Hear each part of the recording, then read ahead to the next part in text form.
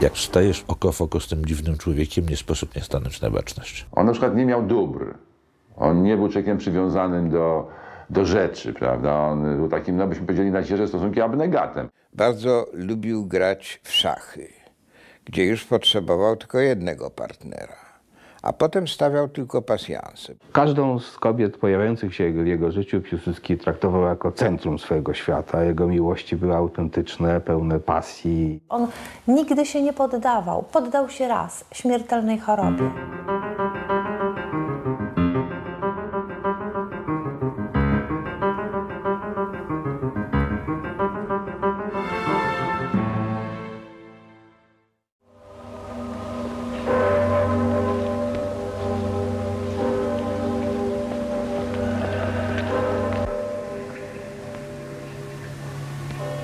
Pamiętam, myśmy już mieli radio i e, rano nagle odezwały się dzwony wszystkich kościołów krakowskich, to coś się stało, bo przecież to jest niemożliwe, żeby tak wszystkie dzwony.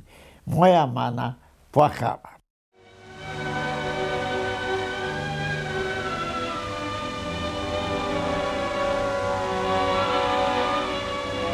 To było przejmujące z punktu widzenia, że widziało się człowieka, który zawsze był pełen życia, prawda, martwego bez ruchu.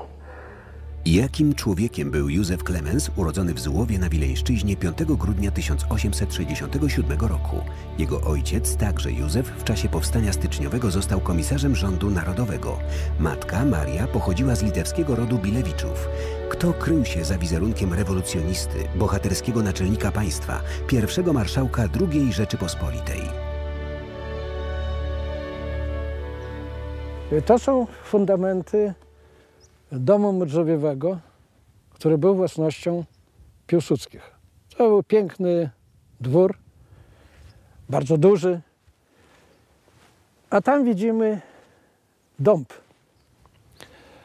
Y, Dąb stoi w sypialni rodziców Piłsudskiego, gdzie Piłsudski się urodził. Ojciec Piłsudskiego był przedsiębiorcą, ale nieudanym. Zaczynał wiele akcji, prawda, co w naszych czasach biznesmen, gdyby tak zaczął robić, to od razu by splejtował, z mety. Bo roztrwaniał majątek i swój i, i żony. Piłsudski to miał swój, w związku z tym swój taki stosunek do ojca trochę na dystans. Ten przykład ojca nieudacznika odegrał rolę wychowawczą, rzecz paradoksalna, bo Piłsudski zrozumiał, że jeżeli coś po- postanawiasz w życiu, to trzeba doprowadzić do końca.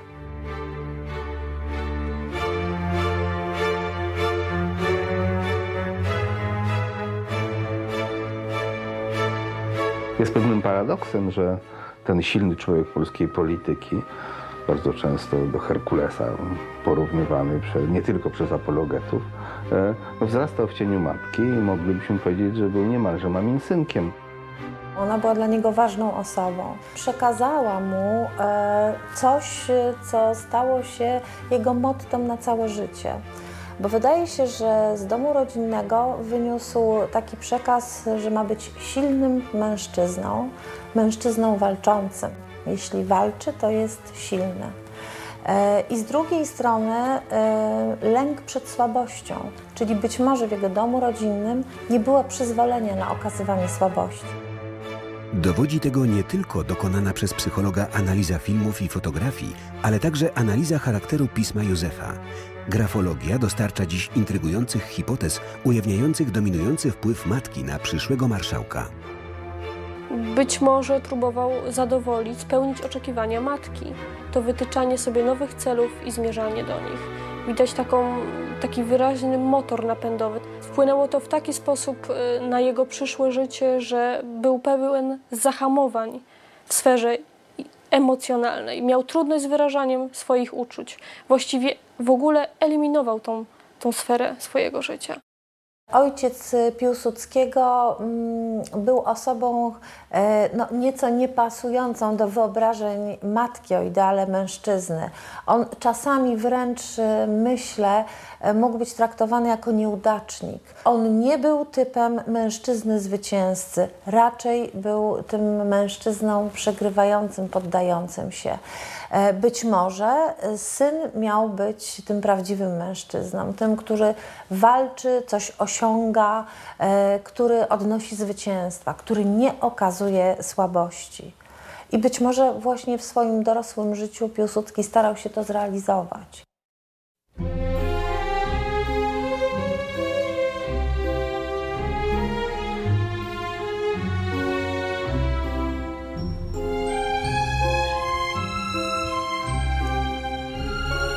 To kościółek pod wezwaniem świętego Kazimierza w Powiewiórce.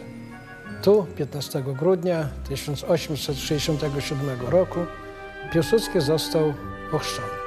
Oto właśnie z tej ścielnicy.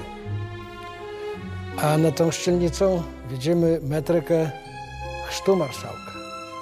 Tu było ochrzczone rodzeństwo Piłsudskiego, a było liczne. Seniorzy piłsudscy doczekali 12 dzieci. A był cały kolektyw rodzinny, więc było to wspólne słuchanie wierszy czytanych przez mamę, książek i wychowywało się poczucie kolektywizmu, że wszystko można osiągnąć razem. I to potem się znalazło odbicie y, w działalności Piłsudskiego. Razem można wywalczyć Polskę, razem można Polskę niepodległą budować, a jednocześnie wychowało poczucie wzajemnej pomocy. Piłsudski odwiedzał kościółek i gdy pewnego razu przyjechał i spotkał tutaj swoją nianię z Zułowa, chciał się jej odwdzięczyć. A niania była honorowa. I mówi, panie marszałku, mieć zapłacono w Zułowie. To marszałek wziął ją na ręce i obniósł wokół tego kościółka.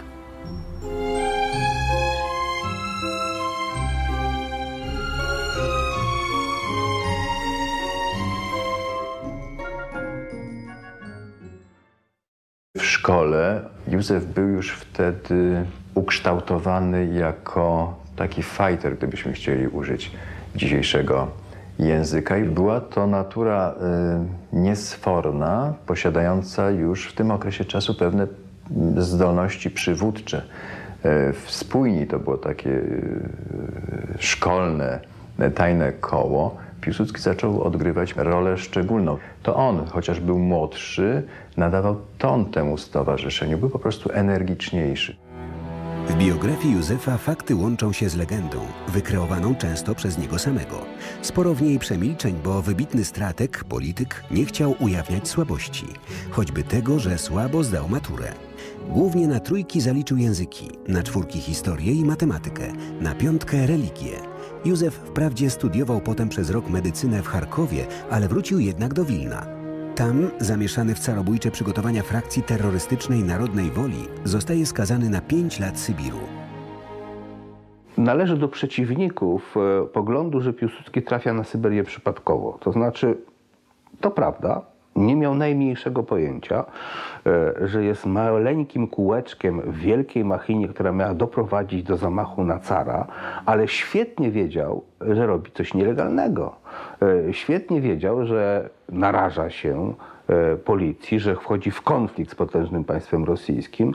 Nie spodziewał się, że za przysługę oddaną bratu i bycie przez kilka dni przewodnikiem dla nieznanego Rosjanina, którego oprowadzał po Wilnie, spotka go aż pięcioletnie zesłanie na Syberię. Na Syberii znalazł klucz do rozwiązania sprawy Polski.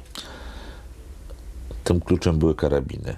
To nie był nowy klucz, kolejne powstanie, ale klucz polegał na tym, że te karabiny chciał dać robotnikom, a żeby robotnicy karabiny wzięli do rąk, trzeba im było najpierw dać kapitał Marksa. I kapitał Marksa, czyli po prostu socjalizm, miał być środkiem do upatriotycznienia robotników, do pozyskania tej silnej, mocnej grupy społecznej, mającej niewiele do stracenia, czyli zdeterminowanej do walki o niepodległą Polskę. Zetknął się Piłsudski z autentycznymi rewolucjonistami, właściwie z dwóch kręgów e, kontestujących carat. e, wielkie, e, wielki wpływ na jego osobowość mieli powstańcy, którzy na Syberii przebywali już od kilkunastu lat po powstaniu styczniowym, no i emigracja socjalistyczna i rosyjska, i polska. Piłsudski wraca zupełnie innym człowiekiem z Syberii niż na Syberię wyjechał. Wyjechał no, takim nie do końca dojrzałym młokosem, wrócił już człowiekiem o ukształtowanych poglądach, to znaczy osoby kontestującej rządy rosyjskie w Polsce. Choć te pięć lat spędzone na Syberii ukształtowało w nim przekonanie, że nie chce być zawodowym rewolucjonistą.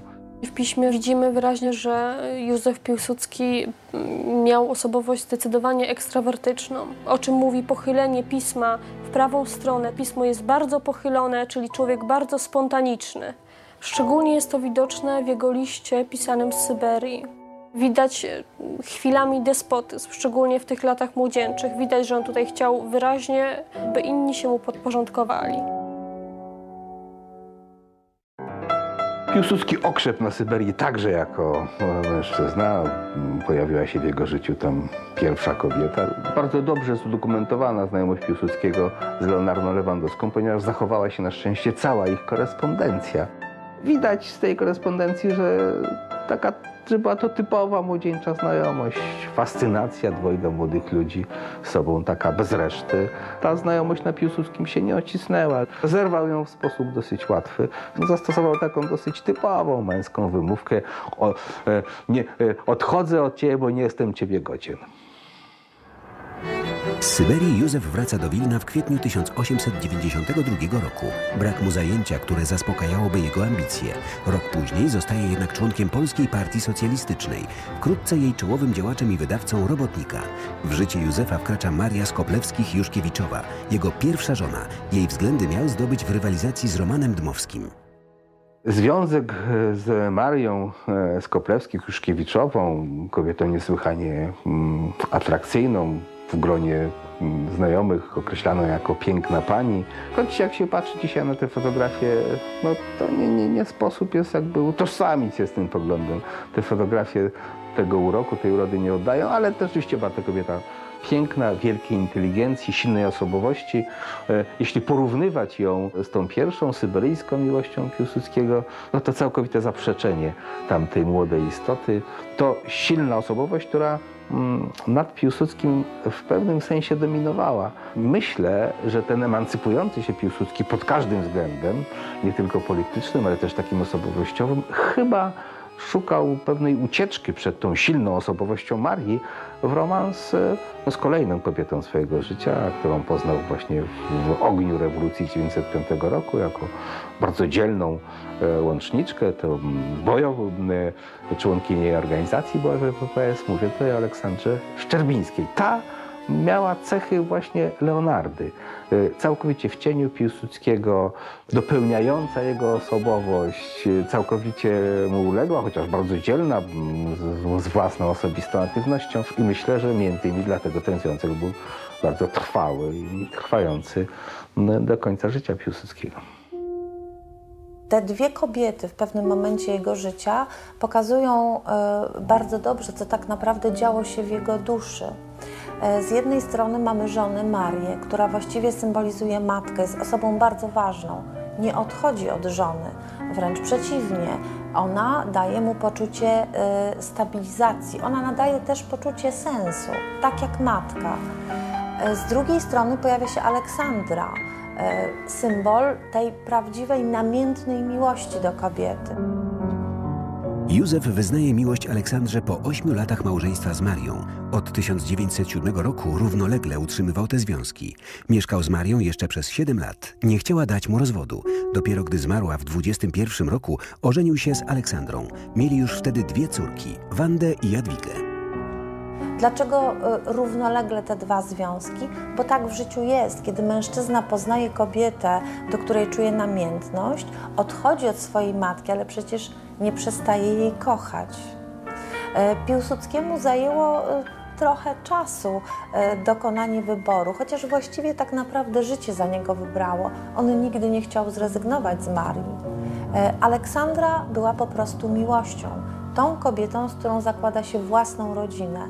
To z nią właśnie miał córki. Niewiele osób mogło wiedzieć o e, jego dość e, skomplikowanym e, życiu osobistym. A nawet jeśli widziało, to może gdzieś w skrytości ducha go podziwiało, że był zdolny do prowadzenia często podwójnego życia. Tak czy inaczej, tych jego mm, elementów życiorysu, które nie były ciekawe, po prostu nie nagłaśniano. Jego romanse, tu przede wszystkim jego mm, niezbyt udane mm, małżeństwa.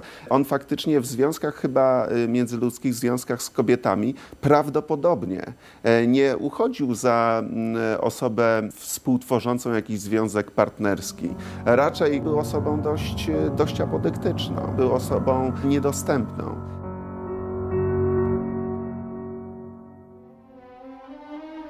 Józef uchodzi w PPS-ie za świetnego konspiratora, drukuje robotnika, naczelny organ partii, zdobywa farby do druku, kupuje duże ilości papieru do wydań liczących nawet po 2000 numerów i robi to tak, by nie wzbudzać podejrzeń ani sprzedawców, ani szpiclów. Unika aresztowań. Dlaczego? Piłsudski był człowiekiem dosyć nieufnym w stosunku do współpracowników. E, miał taki jakby dystans pewien, pewnej nieufności. No a myślę też, że e, zdawał sobie sprawę z tego, że czym mniej ludzi wie o jakichś rzeczach, tym bardziej e, sprawa jest pewna. Nie brylował jako taki właśnie działacz czy konspirator. W lutym 1900 roku dochodzi jednak do katastrofy. Żandarmi, którzy śledzili jednego z członków PPS-u, wtargnęli do łódzkiego mieszkania Piłsudskich, będącego jednocześnie drukarnią robotnika. Nie wierzyli własnym oczom, kiedy odkryli tam Józefa, którego szukali już kilka lat. Piłsudski trafia do 10 pawilonu warszawskiej Cytadeli. Czeka na wyrok. Kilka cel obok więziony jest Felix Dzierżyński. Cela numer 26 y, to y, cela, w której Józef Piłsudski spędził 6 miesięcy spośród 8, jakie w ogóle było mu sądzone spędzić w 10 pawilonie. Y, Jedyną y, możliwością wydostania się stąd było symulowanie choroby psychicznej. Y, Został poinstruowany przez znanego psychiatrę y, warszawskiego Rafała Radziwiłłowicza, y, w jaki sposób ma to robić. Y, Piłsudski był dość pojętnym uczniem. Zrozumiał, że ma symulować manię prześladowczą, okazywać objawy strachu y, przed różnymi osobami, zwłaszcza osobami w y, mundurach. W związku z tym odmawiał przyjmowania posiłków z rąk obsługi więziennej, która siłą rzeczy miała jakieś mundury. Władze wysłały go na leczenie do Petersburga, do szpitala świętego Mikołaja Cudotwórcy. Tak jakby nadal podejrzewały, że coś może się za tym kryć. Z tego psychiatrycznego szpitala w Petersburgu Józef uciekł do Galicji. W październiku 1901 roku przyjechał do Krakowa. W krakowskich kawiarniach, restauracjach spotykał się z działaczami niepodległościowymi i robotnikami. Szukał tych, z którymi odzyskałby dla Polski wolność. Na pewno nie był osobą, która całe życie spędza w kawiarni. On cenił sobie swój czas. Rozmowy kawiarniane, między innymi Jama Michalika była jedną z jego ulubionych kawiarni. Nie była to jedyna kawiarnia. Planada, czy pozostająca do dzisiaj, jednym z znaków Krakowa, rynku krakowskiego, Hawełka. On tam bywał, nie tak często, często zapraszany na jakieś posiłki. Mm, Natomiast tutaj wiadomo, że była ta znakomita kawa, y, były słodycze, był łasuchem. Ponadto była tam y, gęstwina, gęstwina głosów, y, atmosfera niezwykła, potęgowana przez y, zapachy papierosów, prawda, fajek palonych, cygar, prawda, było gęsto. Nie było widać tych sylwetek, więc atmosfera, którą odnajdujemy y, w Zielonym Baloniku, w, w, w, rozmówkach Boja, świadectwach Przybyszewskiego, no kto to nie bywał? Y, Bywał Przybyszewski, ale w końcu jednym z kompanów y, Piłsudskiego jest Stanisław Wyspiański, który bardzo wspierał ideę, y, ideę y, walki o niepodległość. I to dosyć wcześnie, tworzenia formacji strzeleckich, paramilitarnych, wojskowych. W 1904 roku, po wybuchu wojny rosyjsko-japońskiej, Józef wyjeżdża do Tokio. Nawiązuje współpracę z wywiadem japońskim. Kilka lat później jeszcze raz idzie na podobne ryzyko. Tym razem z wywiadem Austro-Węgier. Te kontakty w przyszłości ukrywa. Piłsudski miał swoją koncepcję, która da się sprowadzić do stwierdzenia, że wrogowie naszych wrogów są naszymi przyjaciółmi. W związku z czym chciał tworzyć oddziały polskie w Japonii z jeńców polskich, tych, którzy byli y, rekrutami rosyjskiej armii. E, No i chciał też, gotów był dostarczać wszystkich informacji, które mogły szkodzić Rosji. Przywódcy na przykład irlandzki i IRA w czasie I czy II wojny światowej współpracowali z Niemcami jako przeciwnikami największego wroga Brytyjczyków. Brali od nich pieniądze. Lenin brał pieniądze od Niemców. To, że Piłsudski brał pieniądze od Japończyków czy Austriaków w tej sytuacji było to normalne, przyjęte i całkowicie dopuszczalne w środowiskach y, rewolucyjnych. Jeśli on budował pewną wizję, do tej wizji przygotowywał środki, a jednym z tych środków były organizacje strzeleckie w Galicji. One mogły tylko powstać za wiedzą i zgodą odpowiednich organów y, wojskowych austriackich. Nie uczynił niczego, wskutek czego można było postawić zarzut, że sprzeniewierzył się idei służby niepodległości, że działał wbrew interesowi narodowemu, bo takiego zarzutu postawić dzisiaj nie możemy. Piłsudski starał się tą współpracę ukryć. W takim szerokim rozumieniu publicznym byłoby to trudne do przyjęcia, dlatego po wojnie zrobiono wszystko, łącznie z rzeczą właściwie niewyobrażalną w międzywojennej Polsce, cenzurowaniem literatury wwożonej do Polsce. Wspomnienia austriackiego szefa wywiadu Maxa Rongego były prohibitem w Polsce. Nie wolno ich było do Polski wwozić, a nie posiadać. Więc to rzeczywiście ocenzurowano z legendy piłsudczykowskiej, którą tworzono z, za wiedzą i zgodą, zgodą marszałka. On się sam nigdy nie uważał z, z, za agenta i obiektywnie był współpracownikiem, czy po drodze mu było przez pewien okres czasu z wywiadem austriackim, czy wywiadem y, japońskim. To mu bardzo ułatwiło życie. Niewątpliwie bez tej współpracy nie byłby tym, kim był w roku 14 i w 18 także nie.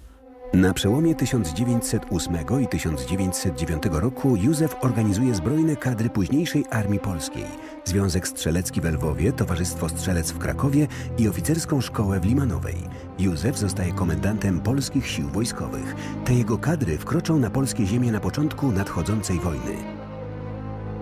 Krakowskie Oleandry, miejsce skąd Piłsudski wyruszył po niepodległość dla Polski.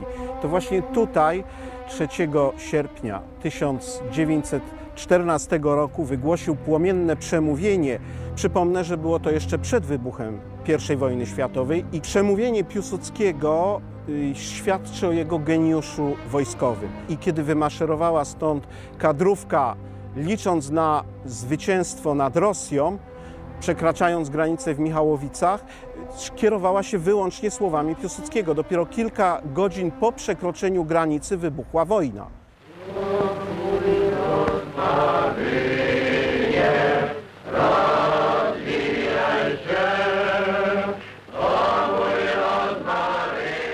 Kiedy walka o Polskę ze stworzonymi u boku Austro-Węgier legionami nie przynosi rezultatu, Józef rozbudowuje tajną polską organizację wojskową.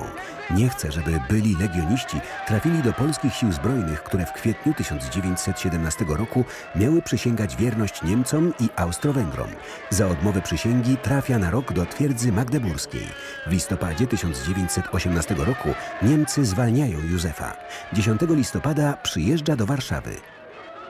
Piłsudski przybył do Warszawy i objął władzę, która leżała, można powiedzieć, na ulicy, bo on mógł tylko zorganizować wojsko przeciwko Rosji, które nam zagrażała. Ja z moim ojcem wybrałem się na rynek, bo wszystko w Krakowie dzieje się na rynku. I żołnierze austriacki majora Stawarza austriackich mundurach, ale biało-czerwoną opaską, kilofami pożyczonymi z salin wielickich rozbijali orła austriackiego na odwachu. Był to jak gdyby symboliczny akt kończący zabór austriacki. To widziałem na własne oczy, bo miałem dziewiąty rok w listopadzie. To był y, żołnierz służby niepodległości. To był pewien jego, pewna jego idea, no ktoś może powiedzieć bzik, prawda, no. Jedni kochają to, inni kochają coś innego. On uważał, że sprawa niepodległości Polski, sprawa wyrwania się y, z niewoli, zakończenia, zamknięcia dziejów niewoli narodowej jest sprawą numer jeden. To wynika również z jego dumy osobistej. To nie była taka duma manifestacyjna, ale duma z tego, że jestem mocny wewnętrznie, mam silną wolę, jestem dobrze przygotowany do czynu, do czynu zbrojnego, do czynu politycznego, do gry politycznej. Ziemia kresowa wita wodza w uniesieniu i z radością.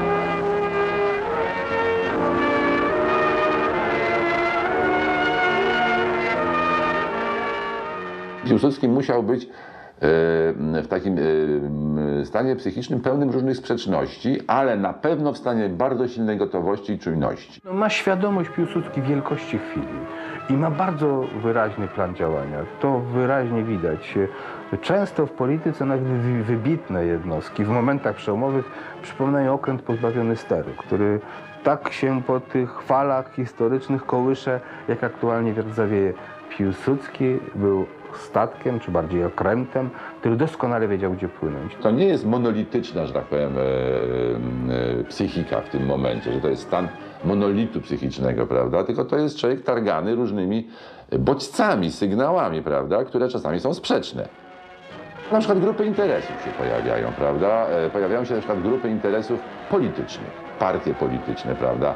W tym momencie on się stał człowiekiem, pod którego się wszyscy chcą podczepić. Ale jednocześnie bardzo ostro Piłsudski hamował zapędy swoich y, towarzyszy, zwłaszcza z Polskiej Partii Socjalistycznej, e, bo jego polityczni przyjaciele chcieli budować Polskę socjalistyczną, a Piłsudski wiedział, że Polska, jeśli ma być silna i mocna, e, to musi być Polską o prospołecznych rozwiązaniach, ale taką Polską bezprzymiotnikową, ani socjalistyczną, ani ludową, ani endecką.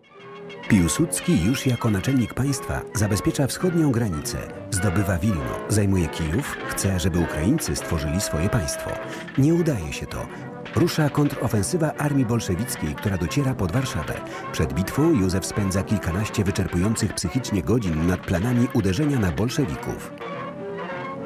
Piłsudski w, w, Bitwie Warszawskiej, która jest rodzajem pamiętnika, pisze o straszliwych, potwornych, ponadludzkie siły, zmaganiach, takich właściwie, które można porównać tylko do wielkiej improwizacji Mickiewiczowskiej, samego z sobą w momencie podejmowania decyzji y, do bitwy, ustalenia planu wyjściowego do bitwy. Przy świadomości odpowiedzialności, że gra losami narodu na kilka pokoleń, a może na całą historię, losami po, Polski być może na zawsze. Y, mając tą świadomość, musiał podjąć najbardziej trafną, stuprocentowo trafną decyzję. Piłsudski niejednokrotnie w takiej swojej narracji wewnętrznej, takiej e, w sobie, w takich rozmowach samych sobą, prowadził takie na przykład dialogi z różnymi e, przeciwnikami, prawda? Próbując ich jakby e, no, rozgryźć. Podejmowanie tego rodzaju decyzji to jest przepotworna odpowiedzialność. To jest coś, co potem ośmieszono, ale y, co trafnie oddaje Konstytucja Kwietniowa. Odpowiedzialność przed Bogiem i historią. Najstraszniejsza forma odpowiedzialności, jaka może istnieć chyba. Bo na wieczność. Bardzo to ciężko przeżywał. Otóż jest rzeczą oczywistą, że jeżeli decyzję podjął, to potem był tak wyczerpany, że mógł się walnąć do łóżka i nie kontaktować z otoczeniem. W momencie, kiedy zdecydował się na przekroczenie Rubikonu, naprawdę nie musiał przesuwać batalionów. Mógł zrzucić to z siebie. W Bitwie Warszawskiej, w momencie, kiedy wydał rozkazy, y, także mógł schować się przed naciskami polityków, bo nie mógł, nie chciał, nie miał potrzeby im tłumaczyć, dlaczego to zrobił i co zrobił i jak zrobił. To jest właśnie postawa y, hazardzisty, który długo się waha, podejmuje decyzję, y, wybiera jakąś opcję, stawia na nią wszystko, a potem już tylko czeka na wynik, bo nic więcej nie może zrobić. Rzeczpospolita odparła bolszewików. Rodziła się demokracja i w grudniu 22 roku ginie Gabriel Narutowicz. Dla Piłsudskiego to cios, nie tylko dlatego, że to on miał zginąć z rąk zamachowca. Razi go znieważanie prezydenta przez Narodową Demokrację Dmowskiego. Usuwa się z polityki do Sulejówka, do Aleksandry, córek Wandy i Jadwigi.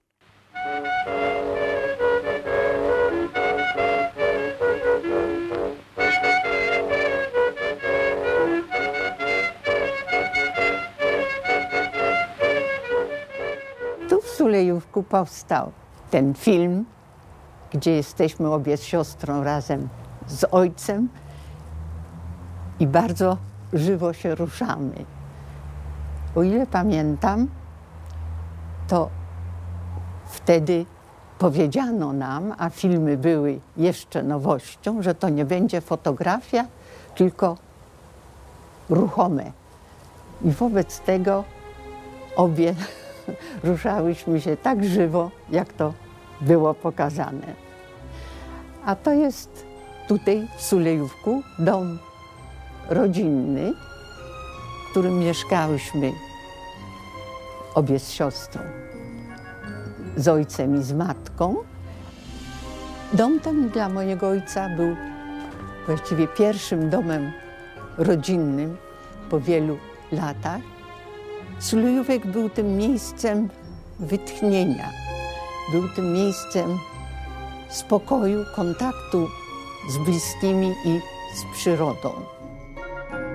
Były ścieżki w Sulejówku, jego ulubione. Od tyłu domu była taka ulubiona ścieżka, gdzie chodził tam i z powrotem, pracował chodząc, myślał chodząc i odpoczywał chodząc.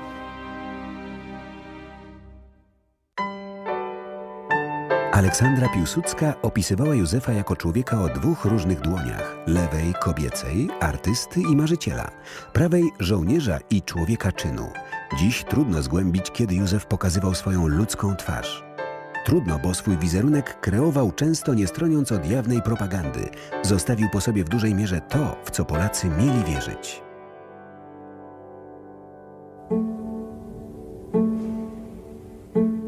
Ten pokój to ulubione miejsce marszałka. Zwany jest gabinetem lustrzanym. Przez pewien okres tu, e, właśnie w tym pokoju, znajdowało się jego biurko. Marszałek potrzebował wiele ciszy, wypoczynku, wiele e, spokoju. Tu też właśnie w tych chwilach odpoczynku ustawiał pasjanse. Od ich wyniku bardzo często e, decydował, czy pewne posunięcia, które miał wykonać tego dnia, będą realizowane, czy też nie. Był to człowiek, który namiętnie wierzył we wróżby. Przejmował się y, y, wróżbami. Całą karierę, karierę życiową przewidziała mu y, cyganka i wszystko się prawie sprawdziło. Człowiek, który przed podjęciem każdej ważnej decyzji politycznej stawiał pasjansa. Specjalnego pasjansa grup Napoleona.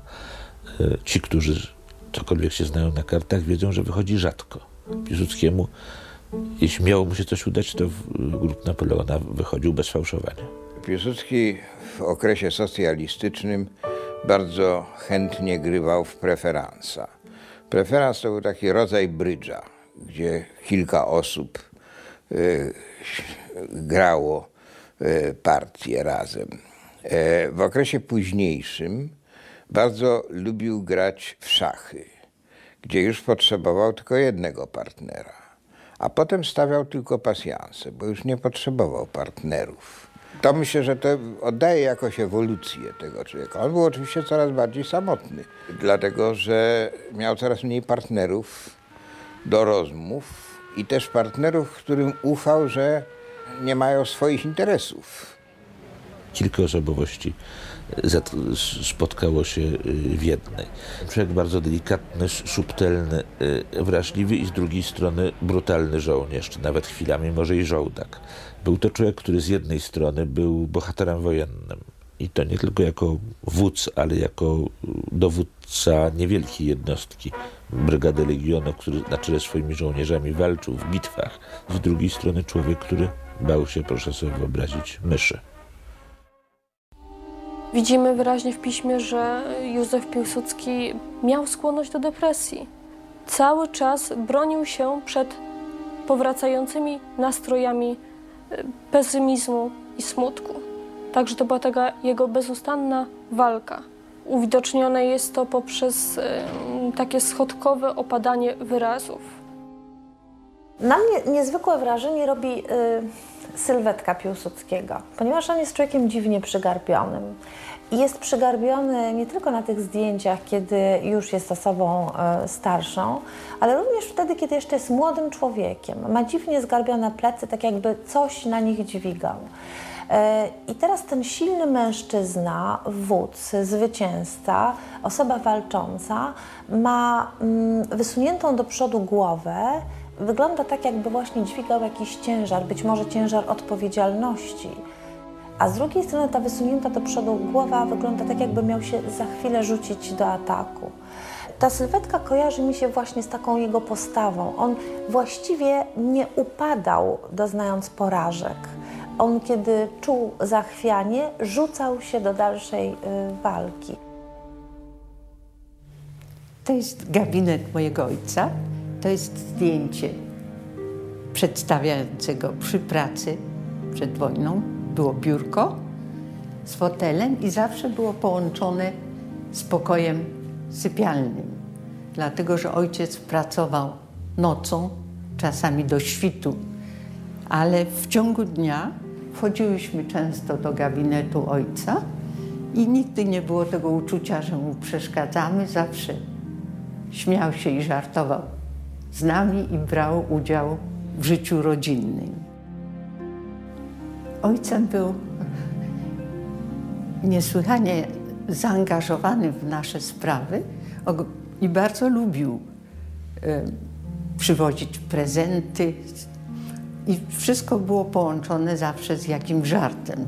Jak wyjeżdżał do Rumunii w celach zdrowotnych i w Morzu Czarnym, zanurzył wstążkę niebieską, która nie zczerniała. I na to jest dla córek dokument. Zawsze będąc, nawet z daleka myślał i czuło się jego obecność. Miał tą nie, niezwykłą zdolność do bycia obecnym.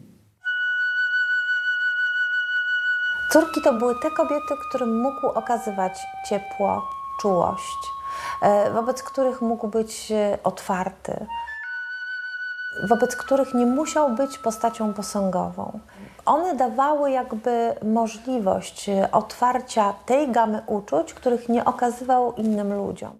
A druga sprawa e, akcentowania tej roli córek, które znajdowały się nawet przed szeregiem ministrów czy generałów, chyba ten właśnie aspekt świadczył o samym przekonaniu e, Piłsudskiego e, co do władzy politycznej. Że ta władza polityczna w zasadzie poza nim samym, który jest zbawicielem narodu, niewiele znaczy że te wszystkie stanowiska, wszystkie apanarze, no to jest związane tylko z rozgrywaniem tego lub innego figuranta. Natomiast córki są, są zawsze przy nim. Co więcej, ten komunikat mówi, e, życie rodzinne jest rzekomo dla mnie ważniejsze od, od, od polityki.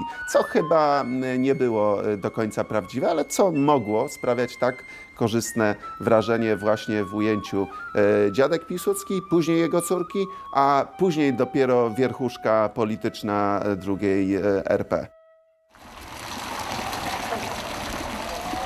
Miłość do dzieci przejawiała się wielką troską o własne córki, Wandzie i Jadzie.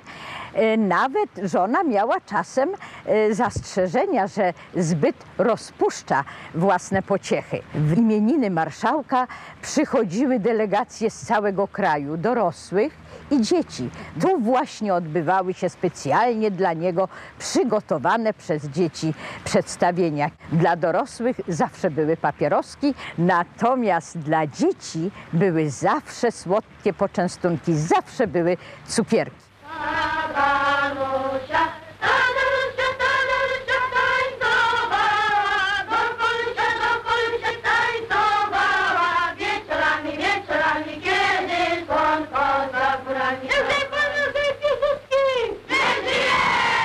Marszałek e, był pogodny, uśmiechał się do nas, poklepywał.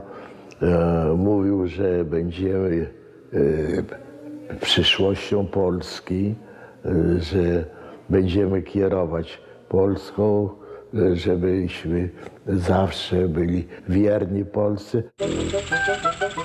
Jak się ogląda zdjęcia Piłsudskiego z dziećmi, to widać, że on się staje innym człowiekiem.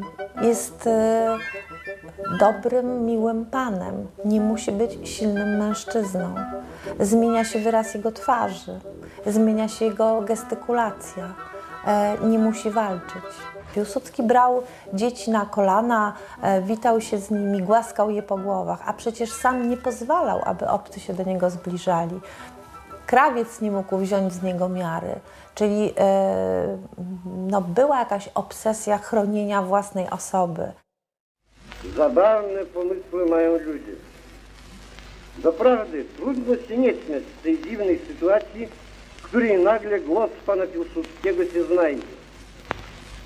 Wyobrażam sobie tą zabawną chwilę, gdy jakiś ananas korbą nakręci, śrubkę naciśnie i jakaś trąba zamiast mnie gadać zacznie. Ciekawe. Chciałbym widzieć wtedy zebrane dzieci, do których trąba ludzkim głosem gada. A gdy pomyślę, że wśród tych dzieci nagle znaleźć się mogą moje własne, którym na pewno pomyślą, że tatuś z nimi gdzieś za trąbą chowanego się bawi. Opowiadał bardzo dużo właśnie takich wesołych historii. Tematów trudnych się nie poruszało przy stole. I nie przy, prawda, nie, nie przy dzieciach. Pamiętam, jak nam pokazywał kiedyś, imitując nas, jak my będziemy, pojedziemy na odsłonięcie pomnika Lisakuli, na które nie mógł pojechać i udawał nas, to znaczy, że będziemy składały kwiatki, oglądały się niepewnie, czując się nieśmiałe. To z osobowością ojca by pan tego nie łączył, a robił to w tak zabawny sposób, że myśmy się z siostrą zaśmiewały. Józef w okresie sulejowskim szykował zamach stanu, by, jak uważał, ratować Polskę przed rozpadem. Starał się wtedy jak zręczny propagandista pomniejszać wartość Sejmu, by zjednać Polaków do swoich niedemokratycznych zamiarów. To wtedy padały publicznie brutalne słowa jak fajdanis poslinis, zafajdany poseł. Józef nie spodziewał się, że w bratobójczych walkach zginie 379 żołnierzy i cywilów. Wierzył, że prezydent Wojciechowski, jego dawny towarzysz z PPS-u, 12 maja 26 roku odda mu władzę podczas słynnego spotkania na moście Poniatowskiego. Mylił się. Obudził nas terkot sam y, karabinu maszynowego pod naszymi oknami, tylko nie wiem dokładnie, czy to byli żołnierze stojący po stronie Piłsudskiego, czy Wojciechowskiego, czyli prawdziwego rządu. Piłsudski właściwie stanął w obliczu dyktatury. W piśmie wyraźnie widocznie jest, że był osobą krytyczną w stosunku do siebie, jak i do innych. Był nawet bezwzględny. Był tak zdeterminowany osiągnięciem celu, że skłonny był nawet do działań niezgodnych z prawem. W końcu ma odsunąć legalnie wybranego prezydenta. Ma, chce odsunąć legalnie wybrany Sejm i rząd, który odpowiada przed Sejmem, czyli z punktu widzenia prawa krajowego, międzynarodowego jest to e, działanie nie do przyjęcia, nie do, nie do obrony, jest to po prostu zamach. Zbrojne przejęcie władzy, która z punktu widzenia prawa jej mu się nie należy.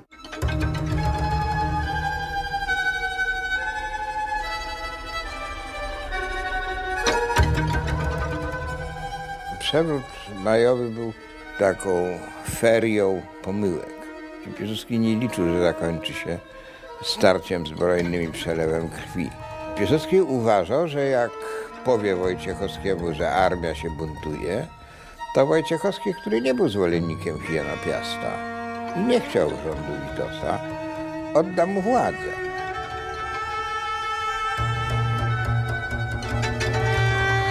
Piłsudski oczywiście boleje nad tym, że tyle osób zginęło, niemniej z punktu widzenia celu, jakim, było, jakim była sanacja Rzeczpospolitej po przeprowadzonym zamachu, w jego przekonaniu się opłacała, że teraz kraj staje na nogi.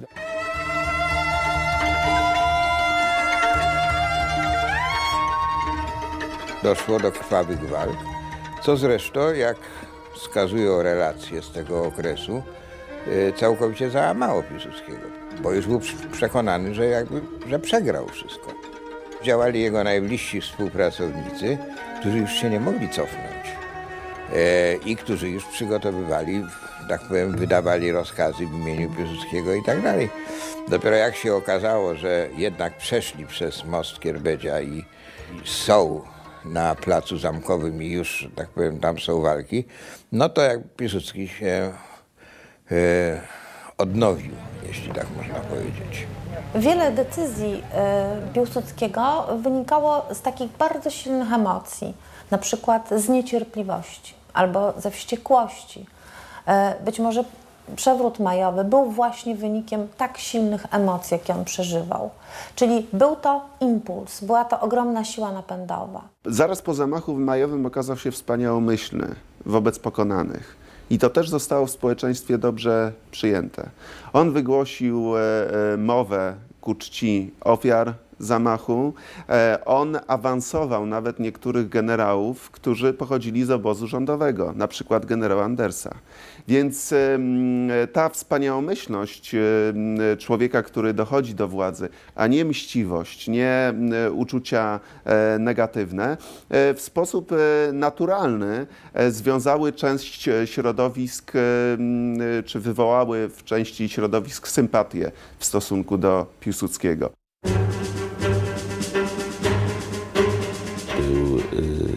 Dyktatorem bezkrwawym, był dyktatorem łagodnym, a nie krwawym tyranem, jak to wielu jego współczesnych. W Polsce można było robić wszystko, nawet niestety być komunistą i głosić komunistyczne poglądy. Pomstujemy na twierdzę brzeską. Rzeczywiście haniebna i bardzo, bardzo przykry epizod, ale potem był proces brzeski, który de facto miał znaczenie humanitarne. Chodziło o to, żeby tych ludzi, którzy są zagrożeni, musieli być zagrożeni dzięki swojej działalności antypaństwowej wysokimi karami więzienia, po prostu zmusić do wyjazdu z, z kraju na polityczną e, emigrację. Piłsudski nie chciał mieć więźniów politycznych. Ceną było coraz dalsze odsuwanie się od nawet ludzi bliskich od e, otoczenia, e, coraz dalej idąca, coraz głębsza, coraz bardziej gorzka samotność, coraz bardziej posępne perspektywy, które mu się nasuwały, bo zdawał sobie coraz głębiej sprawę, że nie zdołał wychować następcę. Zaprzysiężenie pierwszego gabinetu pomajowego. Ludzie wierzyli w autorytet Piłsudskiego. I wierzyli mu jako temu, który stworzył Polskę nową. Przecież to był fakt, którego się nie można wyprzeć ani zaprzeczyć. Jego autorytet pokrywał wszystko. To nie ulega wątpliwości, że z osobą Piłsudskiego związane było to wyobrażenie. Bez niego nie byłoby Polski. Piłsudski to był wojak, to był żołnierz. To byłoby krzywdzące, że Piłsudski był jakimś takim człowiekiem opętanym e, pewnym imperatywem rządzenia. Myślę, że chciał tej władzy i w 18 roku, i w 26, bo był przekonany, że nikt poza nim nie jest, nie ma recepty na, na pomyślność Polski. Piłsudski ma pełnię władzy, ale nie korzysta z tej władzy, tylko ceduje, oddaje tą władzę częściowo Sejmowi, którego nie rozpędza przecież, któremu pozwala wybrać prezydenta. No ale nie łudźmy się, władza jest w jego rękach, całkowita. On zaczyna budować świadomie, celowo kult państwa jako najwyższej wartości, nie narodu, tylko państwa. I e, na czele tego państwa stoi on sam. Gdyby nie jego geniusz, to Polski nie było. Czyli niepodległość równa się geniusz. Czyli dopóki jest geniusz, to Polska nie jest zagrożona. Są nawet takie rysunki, e, takie rysunki pokazujące Piłsudskiego, którego namaszcza jakby, namaszcza Bóg Ojciec. Bóg Ojciec, prawda? Że e, Bóg Ojciec zsyła na niego swoją łaskę i chroniąc Piłsudskiego, Bóg Ojciec ochrania również Polskę. Nie tyle, że to jemu sklebiało.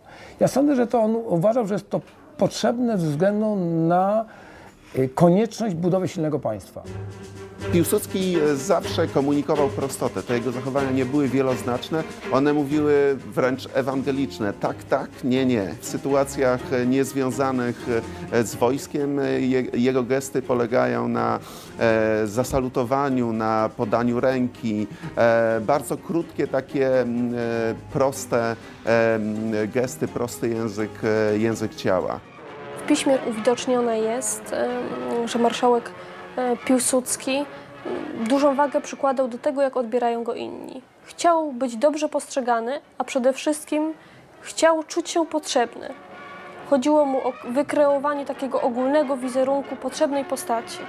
Coraz bardziej się kształtuje w nim to przekonanie, e, że wyrasta ponad tą polską szarość, przeciętność bardzo wysoko i że jednak e, patrzy na Polskę z, z perspektywy orła.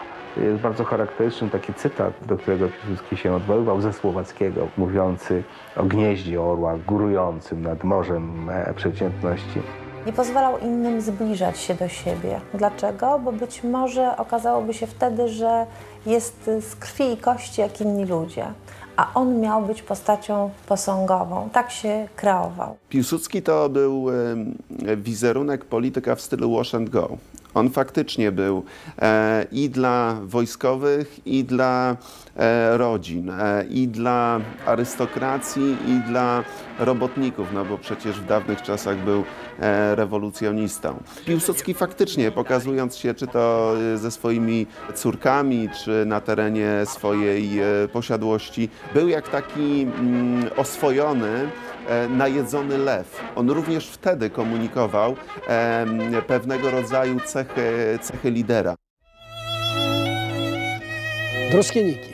Co roku marszałek Józef Piłsudski przyjeżdżał tu leczyć się. Ale trudno nazwać to leczeniem się, bo marszałek nie lubił lekarzy, unikał po prostu ich, unikał leków. Raczej przyjeżdżał tu odpocząć, podyszyć świeżym powietrzem, popatrzeć na Niemen i jedyne, co jeszcze tolerował, to były kąpiele, o właśnie w tym zakładzie wodoleczniczym. Tu zażywał kąpieli soliankowo-borowinowych. Kierowniczką tego zakładu była lekarz, fizjoterapeuta Eugenia Lewicka. Piękna kobieta, dobry specjalista i tak się zapoznali.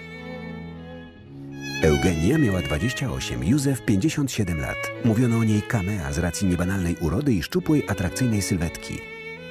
Przeniosła się do Warszawy. Przekonała Józefa, by założył Akademię Wychowania Fizycznego.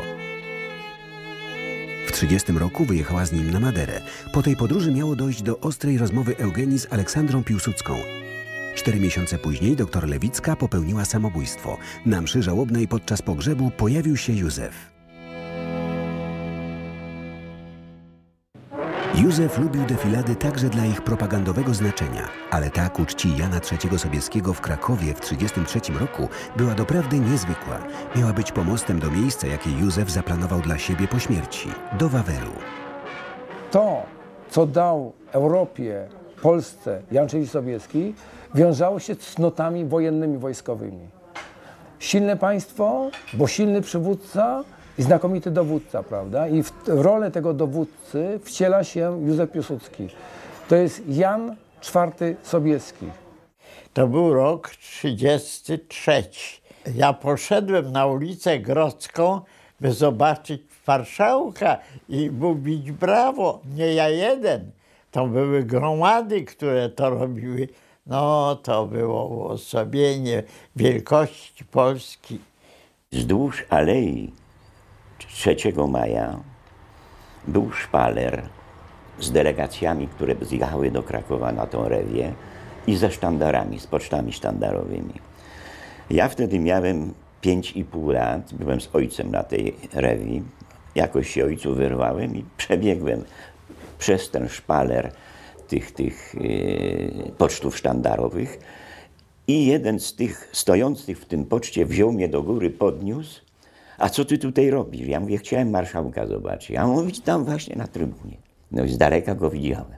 Był ubrany w, w płaszcz, błękitny płaszcz, przypasany wstęgą Virtuti Militari na piersiach. No i oczywiście w maciejówce, w czapce. I stał przygarbiony i przyjmował tą rewię kawalerii. Kawaleria bieg, tempo, ruch, naturalna scenografia. W tle wieże Wawelu, kościoła mariackiego, kopiec, kościuszki. To miejsce Błonias jest otoczone największymi symbolami narodowymi, państwowymi. Kultem wodzów, kultem królów i Wawel właśnie to on cały czas jest właśnie obecny. Aplauz był niesamowity. Oklaski, krzyki, wiwaty, niech żyje Piłsudski, o, niech żyje marszałek, tak. Y, Wojsko się pokazało przed marszałkiem, wiedzieli, że to jest jedna z ostatnich, a może nawet ostatnia rewia, kiedy się pułki prezentowały przed marszałkiem.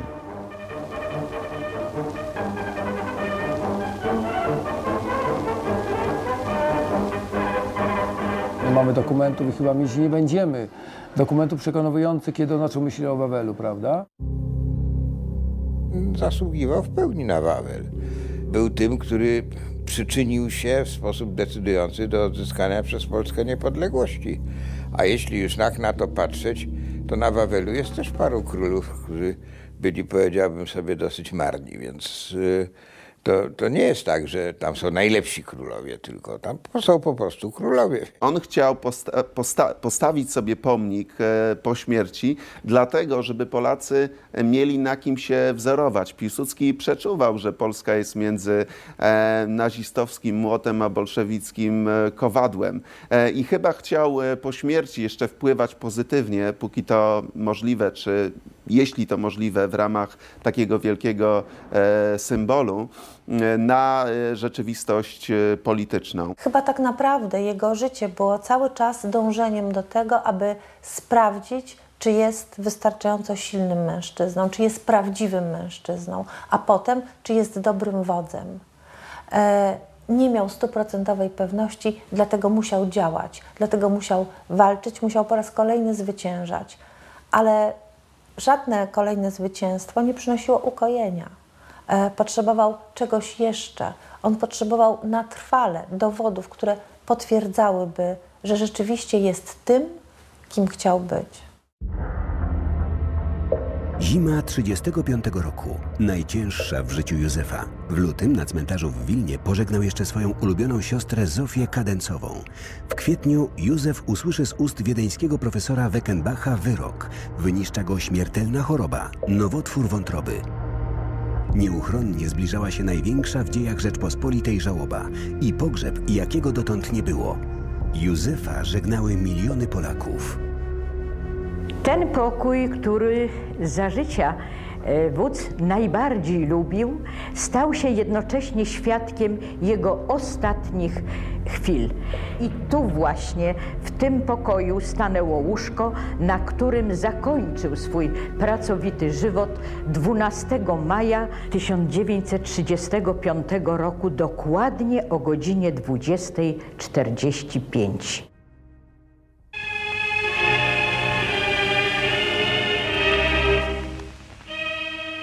śmierci marszałka postanowiono, że ciało jego zostanie zabalsamowane i zgodnie z jego życzeniem został wyjęty jego mózg, który marszałek chciał przekazać po śmierci dla celów naukowych dla y, Uniwersytetu Stefana Batorego w Wilnie. Zostało zabalsamowane serce, które miało w przyszłości spocząć w grobie u stóp jego matki na Rosie.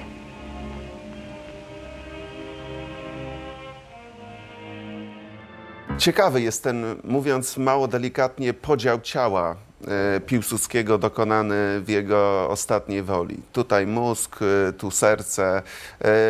Dzisiaj dla nas może to brzmieć nawet trochę wręcz z pogranicza horroru, ale Piłsudski chyba doszedł do e, przekonania mm, przez te wszystkie lata, że jest osobowością tak wielką, że w tym jego mózgu e, musi być coś charakterystycznego. Mózgu, który mógłby okazać się później, po śmierci jeszcze w badaniach, zupełnie mm, nadzwyczajnym e, odkryciem. Widocznie Piłsudski wierzył również e, w swój geniusz po śmierci. Naukowcy nie odkryli jednak nic niezwykłego. Mózg Józefa we wrześniu 1939 roku zniknął w niewyjaśnionych okolicznościach ze specjalnie wybudowanego dla niego w Wilnie mauzoleum. Do dziś nie został odnaleziony.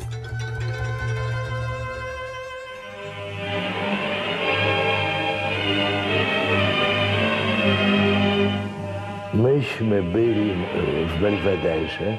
To była sala zaciemniona. Postać marszałka oświetlona takim jakby jakby reflektorem z góry i był widoczny prawda, w całej swojej postaci. Nie było, jakbym powiedział, znaku śmierci na, na twarzy marszałka. Na nas właśnie zrobiło wielkie wrażenie, że cisza, ciemno.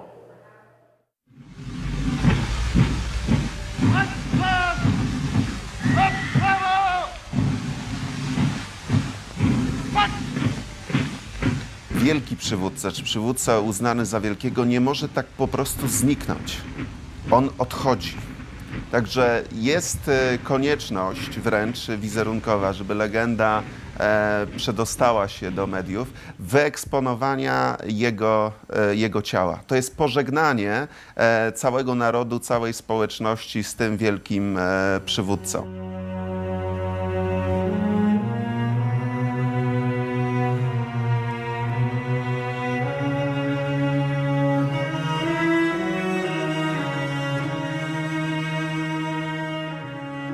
Do dzisiaj jeszcze e, słychać od e, starszych ludzi e, taką frazę, że nie tyle spotkałem się z Piłsudskim, ile byłem na jego pogrzebie. Byłem w tym tłumie, który to widział. Także sam pogrzeb przenosi się w sferę, w sferę legendy.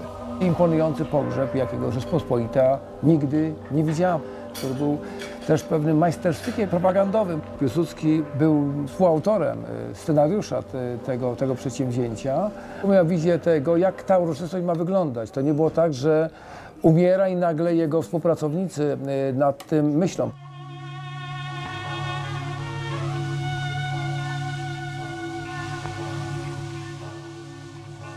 Byłem na rogu Wiśnej i Świętej Anny i rynku i mogłem bardzo dokładnie widzieć. Był Gering, był Foch,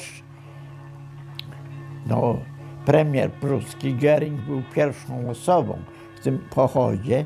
Przecież zdawano sobie sprawę, że odchodzi z, z widowni historycznej człowiek, który odegrał w dziejach Polski istotną rolę.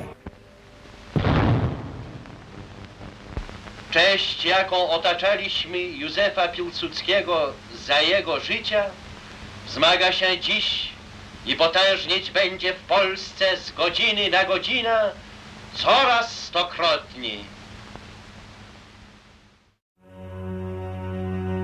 Podziemia wieży srebrnych dzwonów to miejsce ostatecznego spoczynku marszałka Polski Józefa Piłsudskiego.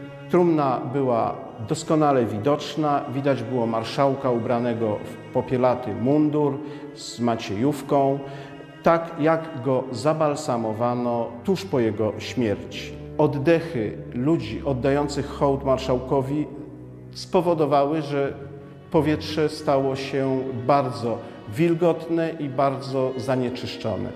Główny balsamista, czyli major Kalciński, wielokrotnie przeprowadzał poprawki balsamowania, udawał się w tym celu do Włoch, do Szwajcarii, gdzie zasięgał porad najlepszych specjalistów od procesów balsamowania. W 1939 roku na kryształową trumnę nałożono metalowy pokrowiec i od tego momentu nikt więcej nie widział ciała marszałka Piłsudskiego.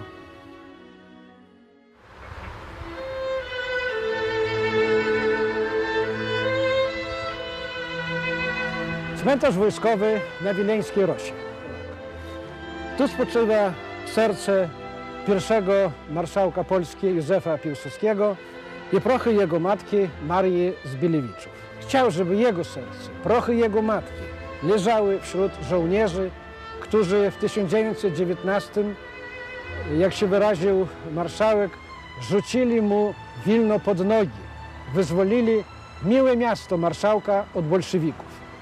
Jednocześnie wierzył, że jego serce, złożone tutaj na Rosie, będzie biło dla Polski, będzie biło dla Polaków wielu pokoleń.